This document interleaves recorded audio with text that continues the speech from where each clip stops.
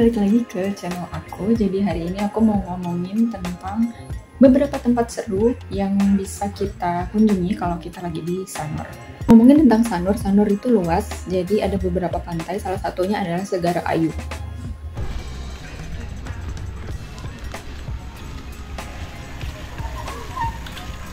Kalau kalian ke Segara Ayu, kalian pasti harus ngunjungin namanya nasi Bali Weti itu satu porsi harganya 25.000 dan udah dapat banyak lauk gitu ya.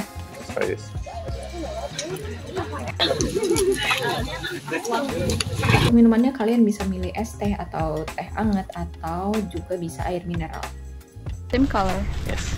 Habis dari nasi Bali Bueti, kalian bisa jalan kaki nelusurin pantai Segar Ayu dan di situ jalannya panjang banget dan ada banyak tempat untuk sewa sepeda Selain itu kalian juga bisa main kano, tapi waktu itu aku milih jalan-jalan santai aja sama Yunjun dan ketemu beberapa tupai.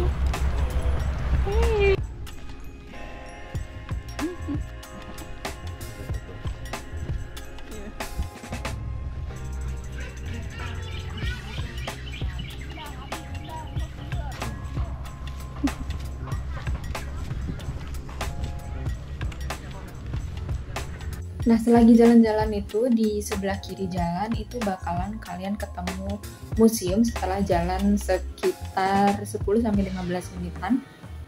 Jadi jalan kaki kalian bakalan ketemu museum Le Maillot. Le Maillot ini adalah seorang pelukis dari Belgia kalau nggak salah dan dia menikah dengan uh, orang Bali dan akhirnya dia punya uh, semacam galeri lukisan yang sampai sekarang kita bisa kunjungin. Itu dari zaman Pak Soekarno. Dan ada fotonya dia sama Pak Soekarno di galeri itu. Untuk tiketnya sendiri itu dibanderol seharga 30.000 untuk lokal. Dan untuk turis itu seharga 100.000 Oke, nggak jauh dari galeri, kita jalan kaki kayak cuman 5 menitan. Itu ketemu yang namanya ikan goreng makbeng. Nah, di situ itu terkenal dengan satu menu aja yaitu ikan goreng atau ikan bakar gitu, terus sama supnya, sup ikan. Dan itu tuh mantep banget sih. Harganya kayaknya sekitar 20-30an gitu. Terus juga kalian bisa pilih minum, terserah minumnya apa. Kalau aku sih minumnya ya air mineral aja gitu. Nah udah selesai nih makan siang, kita saatnya nge-dessert atau ngopi. Jadi jalan kaki aja beberapa menit kalian bakalan nemu cafe di sana. Salah satunya adalah cafe Canvas.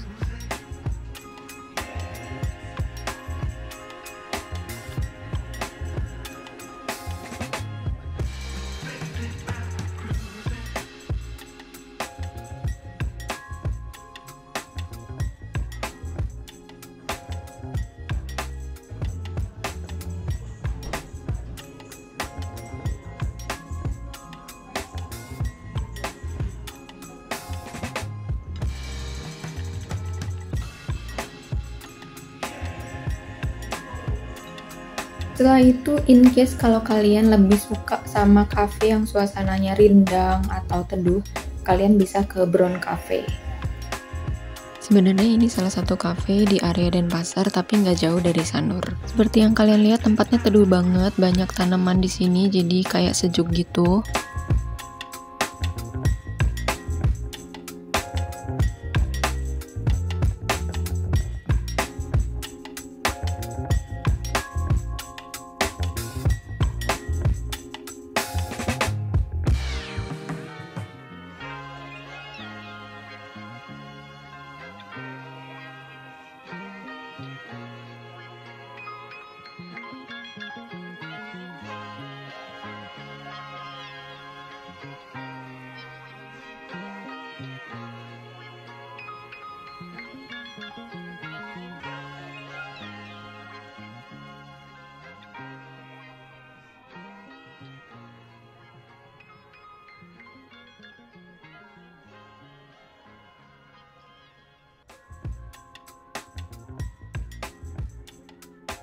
Oke, segitu dulu video dari aku. Kalau misalnya kalian ada request tentang tempat-tempat pariwisata di Bali atau request habis ini tuh aku mukbang atau bikin resep apa lagi kayak camilan atau nasi-nasian gitu, komentar aja di bawah.